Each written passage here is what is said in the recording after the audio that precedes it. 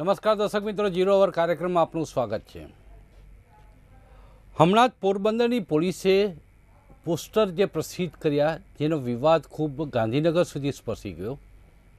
અને ગાંધીનગરમાં ગૃહ વિભાગે એવી સૂચના આપવી પડી કે હવે આનંદીબેન પટેલ, મુખ્યમંત્રી આનંદીબેન પટેલના ફોટા સાથેનો કોઈપણ સાહિત્ય પ્રસિદ્ધ કરવું હોય, તો હવે ગૃહ ખાતાની મંજૂરી લેવી પડશે. કારણ કે મુખ્યમંત્રી આનંદીબેન પટેલના ફોટા સાથે પ્રસિદ્ધ થયેલા પોસ્ટરમાં આજની યુવતીઓને વન માગી અને બિનજરૂરી સલાહ આપવામાં આવી હતી કે શાલીનતા ભર્યા વસ્ત્રો પહેરો, ભારતીય સભ્યતા મુજબના વસ્ત્રો પહેરો.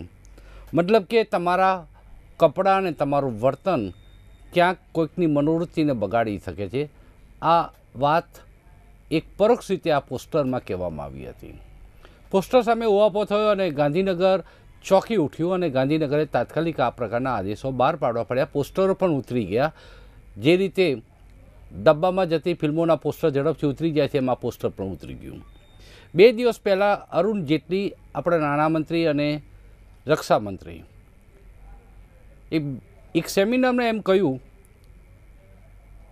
કે દિલ્હીમાં બનેલી બળાત્કાર ગેંગ રેપની નાની સરખી ઘટનાએ આ દેશના ટુરિઝમને કરોડો રૂપિયાનું નુકસાન કર્યું. ગેંગરેપની ઘટના એક તો નાની હોતી નથી. જેના આ ભોગ બને છે એ યુવતીઓના મન ઉપર શું વીતતી હોય છે? એના પરિવાર ઉપર શું વીતે છે? એ ચકાસવું જોઈએ હકીકતમાં મોરાલિટીનું તો આ એક નિકંદન નીકળી જાય છે. એટલા માટે જ આજે ઝીરો વર કાર્યક્રમમાં સંવેદનશીલ વિષય રાખવામાં આવ્યો છે કે બળાત્કારીઓનો માઇન્ડસેટ શું હોય છે? બળાત્કારીઓની માનસિકતા શું હોય છે? શું યુવતીઓ ટૂંકા વસ્ત્રો પહેરે? તેમની વાત કરવાની પદ્ધતિ તેમનું વાણી અને વર્તન આ બંને બળાત્કારને ઉપસાવે છે. આ વાત સાથે કેટલા લોકો સંમત થાય છે? અને એક મનોચિકિત્સક તરીકે ડૉક્ટર પ્રશાંતભાઈ ભીમાણીનું ઓપિનિયન આ તબક્કે ખૂબ જરૂરી છે. એટલે આ ટોક શોમાં આપણે ડૉક્ટર પ્રશાંતભાઈ ભીમાણીને ખાસ ચર્ચા માટે આમંત્રિત કર્યા છે. નમસ્કાર પ્રશાંતભાઈ આપનું સ્વાગત છે જીરો ઓવર કાર્યક્રમમાં. નમસ્તે કેમ છો? જી. પ્રોએક્ટિવ ડ્રેસ અને વર્તન. બળાત્કાર માટે કેટલા જવાબદાર? સીધો સવાલ. એટલા માટે કે વનમાગી સલાહ લોકો. યુવતીઓ કપડાં એવા પહેરે છે યુવાનો લલચાય છે એ બળાત્કાર માટે પ્રેરાય છે. આ બધી જે સુફિયાની વાતો કરે છે નેતાઓ અને જાહેર જીવનમાં પડેલા સામાજિક આગેવાનો પણ. આમાં કેટલો દમ? આમાં બિલકુલ દમ એટલા માટે નથી કારણ કે દુનિયાભરમાં કોઈ એવો ડ્રેસ કોડ ખરેખર જે લિબરલ કન્ટ્રીઝ છે એમાં તો છે જ નહીં. બીજી મહત્ત્વની વાત એ છે કે જો આ તકલીફ જો પહેરવેશમાં હોય તો તો ભૂતકાળમાં પણ આવા કોઈ કિસ્સા બન્યા જ ના હોત. પણ હું એવું માનું છું કે આપ એમ કહેવા માગો છો કે માતા સીતાનું રાવણે અપહરણ કર્યું. હા. ત્યારે ઘૂંઘટનો એ સંસ્કૃતિ હતી. એ થઈ જ ન હોત. વાત સાચી જ ન છે. હોત. કારણ કે મૂળભૂત જે મુદ્દો છે મહત્વનો એ આવે છે અહીંયા કે આપણે જે કંઈ પણ આ વાત કરીએ છીએ કે ભાઈ લોકોએ કપડાં પહેરવાનું ધ્યાન રાખવું જોઈએ કે છોકરીઓએ નીકળતા પહેલાં પોતાની જાતને બરાબર સાચવી સંભાળીને નીકળવું જોઈએ. ખરેખર આ વાત માત્ર ને માત્ર પુરુષ પ્રધાન લક્ષી વાત છે એવું હું માનું છું. ખરી વાત તો એ છે કે કોઈ પણ દીકરી કે બહેન કે માતા જ્યારે રસ્તા ઉપર કે સમાજમાં ગમે ત્યાં નીકળે છે, ત્યારે એને કોઈ પણ જાતનો ભય હોવો જ ના જોઈએ. એ ગમે તે કપડાં પહેરીને નીકળી શકે, ભારત દેશ સ્વતંત્ર છે, લોકશાહી દેશ છે, અને એમાં દરેક વ્યક્તિને પોતાની, દરેક વ્યક્તિને પોતાને શું પહેરવું, શું નહીં, એ એને, એના પર નિર્ભર થાય છે. એટલે હું યુઝ્યુઅલી એવું માનું છું કે બને ત્યાં સુધી આ વાત જે છે એ નેતાઓએ અથવા બીજા કોઈ પણ વ્યક્તિએ સમજવી જોઈએ. એની પાછળનું વૈજ્ઞાનિક તથ્ય મનોવૈજ્ઞાનિક સત્ય ચકાસવું જોઈએ અને પછી જ કોઈ વાત કરવી જોઈએ. પ્રશાંતે ઘણી વખત એવું પણ જોવા મળે છે કે માની લો કે ત્રણ યુવાનો એક ટોળામાં ઊભા છે. ત્રણ જણાનું ટોળું તો ન કહેવાય પણ એક જૂથમાં ઊભા છે. એક યુવતી ત્યાંથી પસાર થાય છે. એની શાલીનતા જોઈને એના તરફ ખરાબ નજરે જોવાની કોઈ હિંમત નથી કરતું. હિંમત જ કરતું નથી. અને એક યુવતી ત્યાંથી પસાર થાય છે અને કોમેન્ટ પાસ કરવાની એમની ઈચ્છા થાય છે. તો આ કઈ રીતે હોઈ શકે આ? મનોચિકિત્સક તરીકે આનો શું જવાબ હોય બિલકુલ. આ જે બંને બાબતો છે એ ત્યાં રહેલા ત્રણ અને ચાર ચાર માણસોની માનસિકતા પર આધારિત છે. ખરી વાત તો એ છે કે જે લોકો શાલીનતાપૂર્વક જતી છોકરીને કોઈ ટોકતું નથી, રોકતું નથી, એની સાથે હું બીજો, ત્રીજો પણ એક કિસ્સો કદાચ ઉમેરવા માંગીશ કે જે કોઈ પણ છોકરી બહુ જ આમ બહુ જોરદાર કડક દેખાવની છે અથવા ગુસ્સાવાળી છે એને પણ કોઈ છંછેડતું નથી. એટલે એવું નથી કે એને છંછેડે છે. એટલે મુખ્ય વાત મરદાની હા એ બિલકુલ બિલકુલ. અને કદાચ જે હમણાં એક આપણે ન્યૂઝમાં કિસ્સો જોયો તો કે એક છોકરી રસ્તામાં માર્યો કોઈને. છેડતી કરી પતિને બચાયો. યસ એટલું જ નહીં પેલા લોકોની ધોલાઈ પણ કરી અને પેલા લોકો ભાગી પણ ગયા. તો આવું કઈ પણ થઈ શકે? ક્યાં હાથ નાખો અને ક્યાં નાખો નહીં નાખો એ આવ્યા પ્રકારના માનસિકતા ધરાવતા લોકો બહુ સારી રીતે જાણતા હોય છે. કે અહીંયા આગળ આપણી કદાચ ધોલાઈ થઈ શકે છે. ત્યાંથી નાખે. નેશનલ લો કોલેજની બેંગ્લોરની વિદ્યાર્થીની ઉપર ગેંગરેપ થયો અને દિલ્હી, એ પહેલાં દિલ્હીની યુવતી ઉપર એના પ્રેમીની સામે ચાલુ બસે ગેંગરેપ થયો. મુંબઈમાં મહિલા પત્રકાર ઉપર ગેંગરેપ થયો. આ ગેંગરેપની ઘટનાઓના કારણે ક્યાંક મહિલાઓનામાં એ ભાવ પેદા થયો છે કે આ દેશમાં શું નારીની સલામતી નથી રહી? ગેંગરેપની ઘટનાઓ એક પછી એક.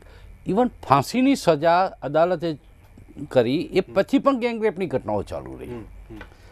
મતલબ કે ડર નથી રહ્યો કે અથવા તો આ પ્રકારની મનોવૃત્તિઓ કે મનોવિકૃતિઓ એ વધારે બળવત્તર બને છે જે તે નાજુક ક્ષણે. મોટે ભાગે આ જે મનોવિકૃતિઓની જ્યારે વાત કરીએ છીએ ત્યારે એ તો પહેલેથી ધરબાયેલી જ હોય છે. અને એ દરબાયેલી મનોવૃત્તિઓ જે છે, એ મોટે ભાગે કેટલાક લોકો જ્યારે એક સરખા લોકો ભેગા થાય છે, ત્યારે એકબીજાને વધારે ઉકસાવે છે એ બાબત માટે અને એ ક્રાઇમ કરવા તરફ જાય છે. આપણે જે કિસ્સા જોયા, એ તમે એનું પ્રમાણ જુઓ તો જેટલા ગુનાઓ થયા છે, એની સામે સજા કેટલાને થઈ? મહત્વની વાત આ છે. દાખલો બેસાડવા માટે એકમાત્ર એકમાત્ર સજા કે બે પાંચ સજાઓ પૂરતી નથી. દરેક ગુનામાં સજા થવી જોઈએ. આજે આપણે ચાર રસ્તે કોઈ પણ વ્યક્તિ કારમાં જતો હોય અને સીટ બેલ્ટ પહેર્યા વગર જતો હોય, એક વખતે એમને એમ જતો રહે ને બીજી વખત પકડે ને બીજી ત્રણ ચાર વાર જતો રહે પછી પકડે, તો એ કોઈ પણ જાતનું એ કાયદાની એ જે સ્થિરતા અથવા તો જે એનું શિસ્ત જે છે એનું પાલન ક્યારેય આવવાનું નથી બરાબર. પણ જો દરેક વખતે એને એવું થાય કે હું કંઈ પણ કરીશ તો પકડાઈ જ જઈશ, તો ડેફિનેટલી એનું જે કંટ્રોલ જે છે, કાયદાનું મુખ્ય કામ જે છે કે નિયમનનું નિયંત્રણનું એ ચોક્કસ કામ કરશે. એટલે હું પર્સનલી એવું માનું છું કે કોઈ પણ કિસ્સો જે છે સૌથી પહેલાં તો ન્યાય વ્યવસ્થા ન્યાય જે કંઈ મળવાની ઘટના છે અથવા ન્યાય વ્યવસ્થા છે એ બહુ સ્પીડમાં હોવી જોઈએ. એની સાથે સાથે જે કંઈ પણ કાયદો જે કંઈ પણ કાયદો અત્યારે અસ્તિત્વમાં છે એનું ઇમ્પ્લિમેન્ટેશન અમલીકરણ જે છે એ બહુ ઝડપી અને ચુસ્ત રીતે હોવું જોઈએ. આ બીજી વાત છે. અને ત્રીજી વાત જે છે સૌથી મહત્વની વાત જે હું કરું છું જે એક મારે સાયકોલોજીસ્ટ તરીકે કરવી જોઈએ એ વાત એ છે કે જ્યારે જે બાળકો આ બધું કરે છે એ બાળકોના ઉછેરમાં બહુ મોટી ખામીઓ છે.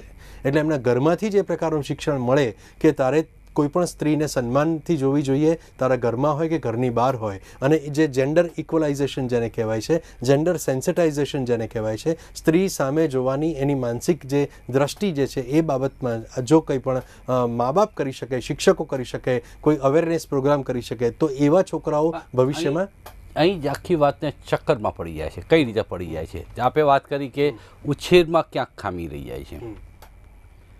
વાતાવરણમાં પણ.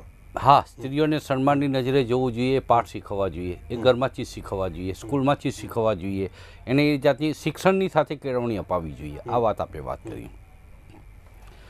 બળાત્કારના કેસમાં પકડાયેલો એક યુવાન. જ્યારે બળાત્કારની ઘટના બને છે ત્યારે જંગલી સ્વરૂપ હોય છે. પોલીસની સામેની પૂછપરછમાં એ ઘટનાને યાદ કરતાં પણ શરમાતો હોય. આવો એક સ્ટડી હમણાં તાજેતરમાં જે સ્ટડી થયો અને ન્યુયોર્ક ટાઈમ્સમાં આ પ્રકારનો એક સર્વે પ્રસિદ્ધ થયો તેમાં આ ઉલ્લેખ છે.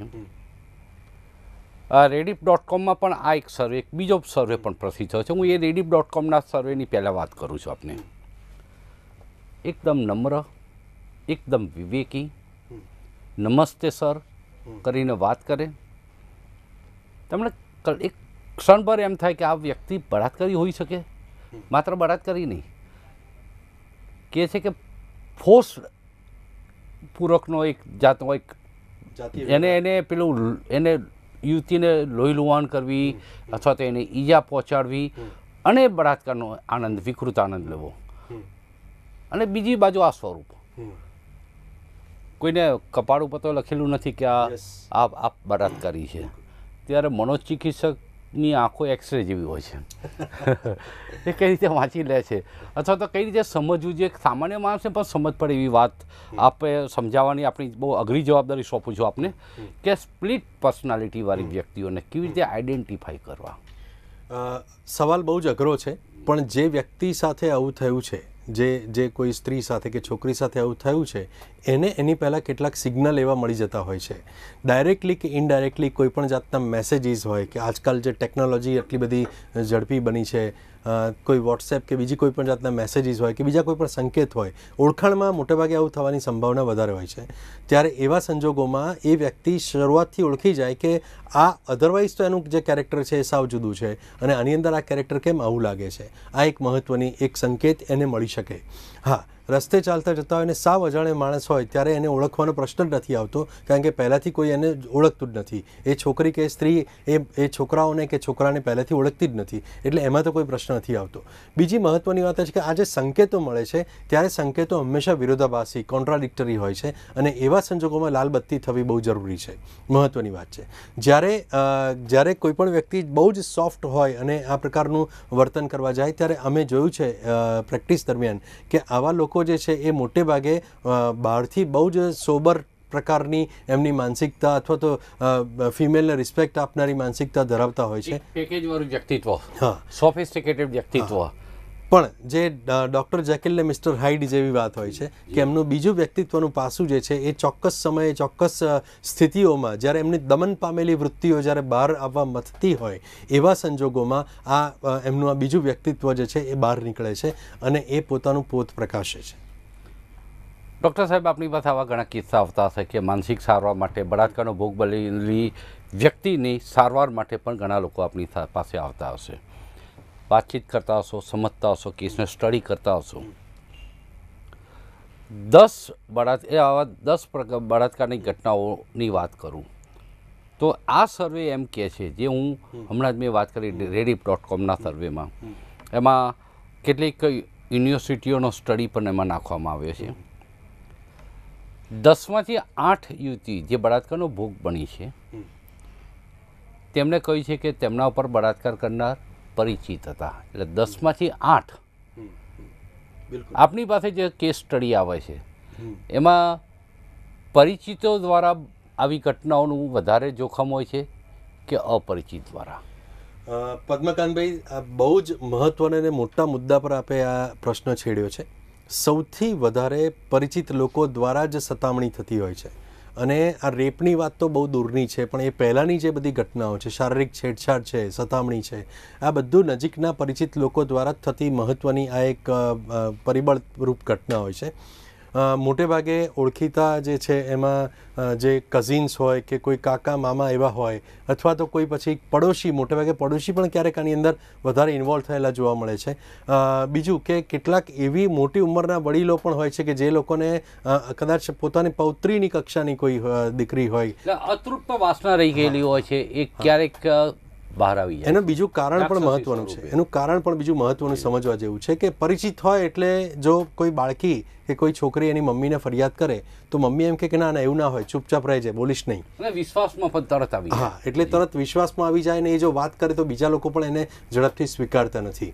એટલે આ બધા સંજોગો બહુ મહત્વ અને બીજું કે જે મળવાની ઘટનાઓ જે એન્કાઉન્ટરની શક્યતાઓ જે કહેવાય એકબીજાને મળવાની ઘટનાઓ એ પરિચિતમાં સૌથી વધારે બનતી હોય છે. અને પરિચિતોની અંદર એકલા રહેવાનું પણ સૌથી વધારે બનતું હોય છે. ટાઈમ સ્કેડ્યુલ ખબર હોય કે ક્યારે એકલા પડે છે ક્યારે એના પરિવારના લોકો જોડે હોય છે ક્યારે પરિવારના લોકો બહાર ગયા હોય છે. એટલે આ બધી પરિસ્થિતિનું એક સૂક્ષ્મ ગણિત આવા બળાત્કારી જે પુરુષો હોય છે એના મગજમાં એ ગૂંથાતું હોય છે અને એ પ્રમાણે એ લોકો આગળ વધતા હોય છે. બરાબર છે? એની નજર અને એની જે જે એનું હેતુ જે છે એ દિશામાં જ ચાલતો હોય છે. એટલે ધીમે ધીમે એ શોધી નાખે છે તક. આપણી દ્રષ્ટિએ બળાત્કારની ઘટનાઓ અત્યારે સમાજમાં વધી ગઈ છે કે મીડિયા દ્વારા હાઇલાઇટ થવા માંડી છે માટે વધી ગયેલી દેખાય છે. બંને બંને બાબતો આપની સાચી છે. ના એટલે આ આ હું એટલા માટે કહું એટલા માટે કહું છું કે બળાત્કારની ઘટનાઓ વધી ગઈ છે ખરેખર કે પહેલાં મીડિયામાં બહાર આવતી નથી અથવા તો આવી રીતે યુવતીઓ હિંમત કરીને પોલીસ સુધી પહોંચતી નહોતી. અને પોલીસ સુધી પહોંચે તો પણ બદનામીના ડરથી બને ત્યાં સુધી ફરિયાદ કરવાનું માંડી વાળતી હતી. રાઈટ એટલે બળાત્કારની ઘટનાઓની પર્સન્ટેજ વધ્યા છે કે પછી ઘટનાઓ વધારે ઉજાગર થવા મળી છે. હા. તમારી બીજી વાતનું મહત્વ થોડું વધારે છે કે ઘટનાઓ વધારે ઉજાગર થવા માંડી છે. પહેલાં પણ ગામડાઓ હતા કે કમ્યુનિકેશનના આટલા સાધનો વિકસ્યા નહોતા, ત્યારે પણ આવી બધી ઘટનાઓ થતી જ હતી. પણ એ વખતે સ્ત્રી જે છે એ પોતે બે આબરૂ થવાની બીકે કે એની એની ઇજ્જત જતી રહેશે સમાજ એને પાછું ખરાબ રીતે જોતો થઈ જતો હતો. એ બધાને બીકે મોટાભાગે આવા કિસ્સાઓ દબાઈ જતા હતા. બહાર નહોતા નહોતા આવતા.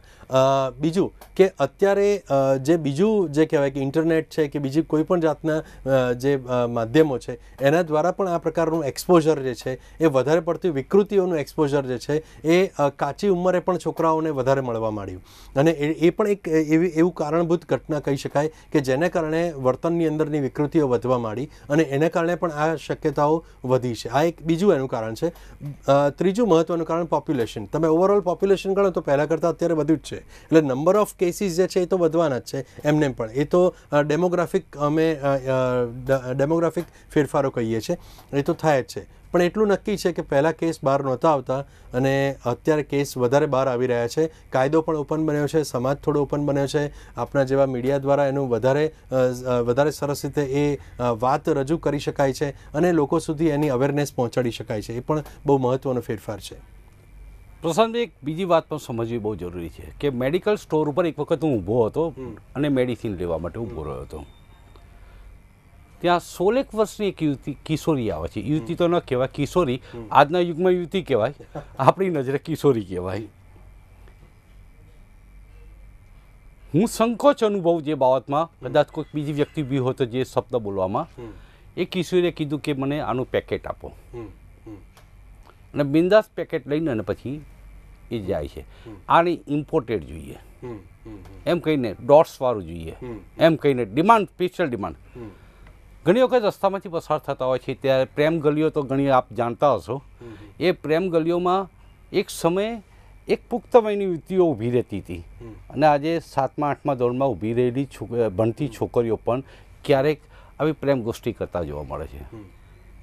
એટલે આ સોશિયલ મીડિયાનું અથવા તો ઇઝીલી એસેસ કરી શકાય છે આ પ્રકારની ફિલ્મો.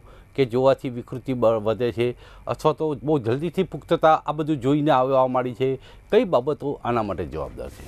તમને એક સૌથી મોટો હું અત્યારે એક ઉદાહરણ આપી દઉં, જે બહુ જાણીતું બની હતું, કે દિલ્હી ગેંગરેપની જે ઘટના થઈ, એમાં જે નાબાલિગ જે ક્રિમિનલ હતો, સૌથી નાનો છોકરો, જેણે સૌથી ખરાબ કૃત્ય કર્યું હતું, એણે જ આગળના દિવસોમાં બહુ વધારે પડતી આવી ક્લિપિંગ્સ જોઈ હતી. એવું એણે પોતાના બયાનમાં કહ્યું હતું ને એવું પણ મીડિયામાં બહાર આવ્યું હતું. એટલે આ બધી બાબતો જે છે અત્યારે એટલી બધી વધી ગઈ છે કે જે યુવતી હોય કે કિશોરીઓ હોય કે કિશોરો હોય, એ લોકોના વર્તન પર આટલી અસરો કરે છે. બીજું કે લોકો લોકો આ બધી બાબતોને હવે ઇઝીલી સ્વીકારવા માંડ્યા છે કે આ આવું તો હોય એમ. એટલે તમે જે વાત કરી કે ભાઈ હું ઊભો હતો ને મને સંકોચ થતો હતો, કદાચ એ સંકોચ થાય કે ના થાય એ કદાચ એ આપણામાં કે આપણા જેવા બીજા સજ્જ લોકોની અંદર એ ખ્યાલ હોય. પણ એ જે જનરેશનના આવા લોકો જેની અંદર આ બધી વૃત્તિઓ છે, એવા લોકોની અંદર એ સારું કે ખરાબ એનો કોઈ કોન્સેપ્ટ જ નથી. એમાં શું? વોટ સો વોટ એમ કહીને એ લોકો આગળ વધે છે. આપણે ક્યાં ઓળખીએ છીએ? હા. કે ક્યાં આપણે ઓળખે છે અને આપણે ક્યાં ફરક પડે છે? એટલે એમને કોઈની પડી નથી. જી. એમને માત્ર ને માત્ર પોતાના એ શોર્ટ ટાઈમ આનંદની પડી છે બીજા કશાની પડી નથી અને એમને સમાજની કોઈ પણ સુફિયાણી વાતો સાથે પણ સંબંધ નથી હોતો. એટલે આવા લોકોને મેં આગળ કહ્યું તે પ્રમાણે એમને ઘરની અંદરથી જ શિક્ષણ શરૂ થવું જોઈએ. હવે ન્યુયોર્ક ટાઈમ્સમાં સર્વેની વાત ઉપર આવું. આ પણ બહુ રસપ્રદ સર્વે છે. ત્રણેક હજાર જેટલી કોલેજ કન્યાઓને પર્સનલ વન ટુ વન મળીને કરવામાં આવેલા સર્વેમાં પંદર ટકા યુવતીએ એમ કીધું કે તેમના પર બળાત્કાર થયો છે પણ તેની જાણ ન તો તેમણે પોલીસને કરી છે ન મા બાપને કરી છે ન પરિવારજનોને કરી છે ન બોયફ્રેન્ડને કરી છે. પંદર ટકા કેસોમાં બળાત્કાર થયો છે, પણ એમને તેની જાણ કરી નથી નંબર વન બાકીના કેટલા પર્સન્ટેજ હશે, એ આપણે કલ્પી શકીએ છીએ. બીજી મહત્ત્વની વાત એ કરી હતી, આમાંની જે છપ્પન ટકા યુવતીઓ હતી, જે બળાત્કારનો ભોગ બની ગઈ હતી, જેમણે કોઈ સહજ રીતે એ વાત ઉપર ફોકસ કર્યું કે છપ્પન ટકા યુવતીએ કબૂલ કર્યું કે આ બળાત્કાર તેમની સાથે જે થયો એ ડેટિંગ દરમિયાન થયો છે. એટલે છપ્પન ટકા એ પર્સન્ટેજ વાઇઝ તમે જુઓ, તો ડેટિંગ દરમિયાન થતા બળાત્કારની ઘટનાઓ પણ વધી ગઈ છે. શું માનવું છે આપનું કે આ ડેટિંગ દરમિયાન યુવતીઓ ક્યાંક ફસાઈ જતી હોય છે અથવા તો ક્યાંક બહાર કહી ન શકે એવી સ્થિતિમાં મુકાઈ જતી હોય છે? જે પંદર ટકાની વાત કરી કે એમણે ક્યારે કોઈને કહ્યું નથી એ પંદર ટકા કરતાં ઘણો ઊંચો આંકડો હોવાની હું એક સંભાવના ધારું છું. કદાચ ડરતા ડરતા પણ આ પંદર ટકાએ આટલું કબૂલ્યું. કબૂલ્યું છે. અને ઘણા લોકોએ તો બહુ મોટી ઉંમરે કબૂલે છે. એ ઉંમરે તો પાછા કહેતા જ નથી. બહુ ઉંમર મોટી થાય પછી કે મને પણ આવો અનુભવ થયો. હમણાં ઘણી અભિનેત્રી એક અભિનેત્રીએ કબૂલ કરી કે મારી ઉપર તો અગિયાર વર્ષની ઉંમરે બળાત્કાર થયો તો હમણાં જ તાજેતરમાં જ એક અભિનેત્રીએ કર્યું. એટલે વાત સાચી છે કે જલ્દી ખુલીને બહાર નથી આવતી. હવે આપણે પહેલાં છપ્પન ટકાની વાત કરીએ.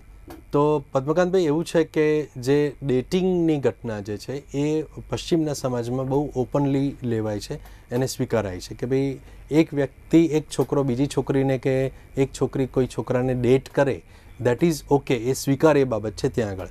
પણ ડેટિંગનો અર્થ મોટે ભાગે અહીંયા જે છે એ અવેલેબિલિટી એવો કરવામાં આવે છે કે સામેવાળી વ્યક્તિ હવે અવેલેબલ થઈ ગઈ. એણે મને રજામંદી આપી, છૂટછાટ આપી, કંઈ પણ કરી શકાય તેવી. એટલે આ જે જે માનસિકતા છે એ એ ખરેખર બહુ ખરાબ છે અને એ ત્યાં પણ એટલા જ અંશે વધી રહી છે. અને ત્યાં કદાચ આજે માહિતી બહાર આવી એનું કારણ એટલું જ છે કે તે એવા લોકોએ પોતે એ જે જે તે સર્વેના સવાલોના જવાબ આપ્યા. અહીંયા આગળ પણ આ પ્રકારના સર્વેના જો જવાબો લેવામાં આવે તો કદાચ છપ્પન ટકાની વધારે આંકડો નીકળે. કારણ કે ત્યાં તો ઓપન સોસાયટી છે અહીંયા આટલી બધી ક્લોઝ સોસાયટી છે તો એની અંદર ડેફિનેટલી લોકો કેટલાકને તો એ બળાત્કારમાં ગણતા પણ નથી એ નથી ગણતા હોતા. કે એની સહજ ઘટના સહજ સંમતિ હોય છે એમ માનતા હોય છે. એટલે ફોરેનનું કલ્ચર આખું અલગ છે અને અવેલેબલ છે એવું અવેલેબલ છે. અને ભારતીય સંસ્કૃતિ આખી અલગ પ્રકારની છે. આપે વાત કરી કે ગામડાઓમાં બનતી બળાત્કારની ઘટનાઓ જે હાઇલાઇટ થતી નથી. એ પણ ઘણી મોટી સંખ્યામાં હોઈ શકે છે. શહેરોમાં વસતી યુવતીઓ અને ગામડામાં વસતી જે નારી છે સ્ત્રી છે આ બંનેમાં શહેરીકરણ વધુ જવાબદાર ઘણું ખરું મનાય છે કે બળાત્કારની ઘટનાઓ માટે શહેરીકરણ વધતી જતી વસ્તી જે કલ્ચરમાં ફેરફાર આવી રહ્યો છે જે દેખાદેખી થઈ રહી છે એની તુલનાએ ગામડાઓમાં બળાત્કારની ઘટનાઓ ઓછી હશે કે વધુ હશે? અથવા તો વધુ હશે પણ બહાર નહીં આવતી હોય? શું માનવું છે આપનું? શહેરની અંદર અને ગામડામાં બધે જ લગભગ હવે આનું પ્રમાણ ઓલમોસ્ટ ઇક્વલ થઈ રહ્યું છે. કારણ કે એસેસ તો બધી થાય છે બિલકુલ. અને ગામડા જે છે અત્યારે એવું કહી શકાય કે મોટે ભાગે વિકસતા શહેરો જ થઈ ગયા છે ઓલમોસ્ટ એટલે હું એને કહું સેમી શહેરો થઈ ગયા છે સેમી સિટીઝ થઈ ગયા છે. કોઈ પણ ગામડું મોટે ભાગે તમે જુઓ તો એની અંદર કદાચ ઘરમાં કોઈ કમ્પ્યુટર કદાચ નહીં હોય પણ મોબાઈલ હશે એના થ્રુ એ કનેક્ટેડ હશે. કોઈ પણ જગ્યાએ. તો આ પ્રકારની જે ઘટનાઓ જે છે એ બધે જ વધારે ને વધારે ઝડપ કૂદકે ને ભૂસકે વધતી જાય છે. અને ગામડાઓ જે છે એની અંદરની જે ઘટનાઓ છે એ ઘટનાની અંદર એક્સપોઝર અમુક લોકોને બહુ ઓછું છે એટલે કુતૂહલ વશ પણ આની અંદર એ જોતરાઈ જાય છે. આપણે વાત કરી કે જે દિલ્હીની ગેંગરેપની ઘટના હતી એમાં સગીર વયના આરોપીએ કબૂલ કર્યો છે કે છેલ્લા દિવસોમાં એને ક્લિપિંગ સૌથી વધુ જોઈ હતી. આ ક્લિપિંગ સતત જોવાની પ્રવૃત્તિ એના કારણે મગજમાં રાસાયણિક ફેરફારો પણ કેટલાક થતા હશે. અને એ કેવા પ્રકારના ફેરફારો થાય? અને એને સમજવા કેવી રીતે કારણ કે સામાન્ય માણસ માટે સમજવા અઘરા હોય. પણ તે શું કયા પ્રકારનું રસાયણ પેદા થતું હોય છે? કેવા ફેરફારો થતા હોય છે? સૌથી પહેલાં તો જ્યારે એ સેક્સ્યુઅલ સેક્સ્યુઅલ જ્યારે ઈચ્છાઓ બધી ઊભી થાય કારણ કે મોટે ભાગે એવું કહેવાય કે સેક્સ એ બે પગ વચ્ચેની પણ બે કાન વચ્ચે છે. મગજની અંદર થતી મનની અંદર થતી ઘટનાઓ એના માટે વધારે હ્યુમન બિઈંગ માટે જવાબદાર છે. પ્રાણીઓ માટેની વાત અહીં નથી કરતા પણ મનુષ્ય માટે તો એ બહુ હકીકત છે. અને એમાં પણ સિવિલાઇઝ્ડ માણસ માટે તો એ મનની ને એના સ્ટિમ્યુલસની વાત છે એટલે ઉત્તેજક પદાર્થોની જ વાત છે. જો આવા સ્ટિમ્યુલસ જો મળતા હોય મગજને આંખ દ્વારા, કાન દ્વારા, દ્રશ્ય દ્વારા કોઈ પણ રીતે, તો એનાથી એની સેક્સી સેક્સની જે વૃત્તિ જે છે એ જાગૃત થાય છે અને એને એને ઉત્તેજના એની વધે છે. આવા સંજોગોમાં પુરુષો માટે એવું કહેવાય છે, જનરલી હવે બંને પુરુષ સ્ત્રી બંનેમાં જોવા મળે છે. ટેસ્ટોસ્ટિરોન નામના હોર્મોન્સ જે છે અને સ્ત્રીઓમાં જે છે એ એ ઇસ્ટ્રોજન અને પ્રોજેસ્ટ્રોન નામના હોર્મોન્સ જે છે, આ મેજરલી છે. ટેસ્ટોસ્ટિરોનનું પ્રમાણ હવે સ્ત્રીઓમાં પણ જોવા મળે છે. તો આ જે પ્રકાર જે હોર્મોન્સ જે છે એ આખી વૃત્તિ વૃત્તિ દરમિયાન આ આ હોર્મોન્સનું પ્રમાણ લેવલ ઊંચું આવે છે. બીજું કે જ્યારે જ્યારે આનંદની ઘટના બનતી હોય છે, જ્યારે, ત્યારે એ વખતે એન્ડોર્ફિન્સ જે છે બોડીની અંદર, એ વધારે લાહી લેવલ એનું થાય છે અને એટલા માટે લોકોને આનંદ પણ વધારે આવે છે. બીજું કે આ જે છે પર્સનલ ઘટના છે, જ્યારે વ્યક્તિ પોતે ક્લિપિંગ જોતો હોય ત્યારે એકલો હોય છે, મોટે ભાગે અથવા ગ્રુપમાં સરખે સરખા મળીને જોતા હોય છે, તો એવા સંજોગોમાં સહેજ પકડાઈ જવાનો ભય એ ભય પણ થોડો આનંદ આપે છે. ઘણીવાર ક્યારેક કહે છે કે ભાઈ ચૂપચાપ કરેલું જે કામ છે એમાં એમાં પકડાઈ જવાની બીક જે છે એ પણ થોડો થોડો આનંદનો વધારો કરે છે. તમે જુઓ. તો એ એ પેલા ભય જેવું જ છે કે જેમ કે એડ્રીનાલિન નામનું કેમિકલ જે છે એમાં વધે છે. હું તમને સમજાવું કેવી રીતે? કે માણસને ખબર છે કે આ રોલર કોસ્ટરની રાઈડ છે. એ રોલર કોસ્ટરની રાઈડમાં જવાથી બીક લાગે છે. પણ બીક જે છે ભય જે છે એમાં જ રોમાંચ અને આનંદ સમાયેલો છે. એટલા માટે જ માણસ એક કલાકની લાઇનમાં ઊભો રહીને ફરી દોઢ મિનિટની રાઈડમાં જાય છે. આમાં પણ એવું જ છે. આપણે વાત કરી કે આ પ્રકારના હોર્મોન્સમાં ફેરફાર થતા ક્લિપિંગ મનોવૃત્તિ એ પ્રકારની થતી હોય છે. પરણેલા પુરુષ પણ બળાત્કાર કરતા હોય છે. જ્યારે એની પાસે કદાચ એની મનોવૃત્તિ સંતોષવા માટેનું પાત્ર હોય તો પણ એ આવા બીજા પાત્રો પકડે છે. એટલે મહત્વની વાત અગેન પેલી એ જ આવે છે કે એને કેવી રીતે કલ્ચરલી ડેવલપ કરવામાં આવી છે વ્યક્તિને, એ પોતે કેવી રીતે મોટી થઈ છે અને બીજું કે એને પોતાનું લગ્ન જીવન પણ કેવું છે. ખરેખર લગ્ન જીવનમાંથી ત્રાસેલી વ્યક્તિ જો યોગ્ય રીતે ઉછેરાયેલી ન હોય, જો એનામાં માનસિક વિકૃતિના લક્ષણો પડ્યા હોય, જો એની અંદર એની અંદર સામાજિક નીતિ નિયમોની બહુ એને પડી ના હોય, તો એ વ્યક્તિ ડેફિનેટલી ડેવિયન્ટ બિહેવિયર એટલે વિચલિત વર્તન કરવાનો છે. અને એના માટે એને, એના માટે થઈને આ બધા એનામાં લક્ષણો જોવા મળે છે. એટલે મૂળભૂત વાત જે છે એ છે, કદાચ કેટલાક લોકો ચેન્જ માટે, કેટલાક લોકો જે છે એ બોર થઈ ગયા હોય, એટલા માટે કેટલાક લોકો જે છે એ એને એને એને નવી બાબતો અજમાઈશ કરવાની ટેવ હોય એના માટે થઈને. પણ આ બધા જે કારણો છે, એની અંદર જવાબદાર હોય છે. આ આ કારણોમાં બે બાબતની આપણે ચોખવટ કરવી જોઈએ. એક જે છે, એ વિકૃત રીતે બળાત્કાર કરવો, એ બધી બાબતો. અને બીજું જે છે, લગ્ન બહારના સંબંધો હોવા તે બાબતો. પરંતુ આજની, આ દેશની નારી જે રીતે સમજવા મળે છે કે શું આપણી સલામતી ખરી? આ પ્રશ્ન એટલા માટે ઉઠ્યો છે કે જે રીતે રોજબરોજ રેપની ઘટનાઓ એક પછી એક મીડિયામાં આવતી જાય છે. ગેંગરેપની ઘટનાઓ ખાસ કરીને બહાર આવતી જાય છે. ત્યારે સમી ઉઠી છે આજની યુવતી. અને બળાત્કાર એ દેશની રાષ્ટ્રની શરમ છે.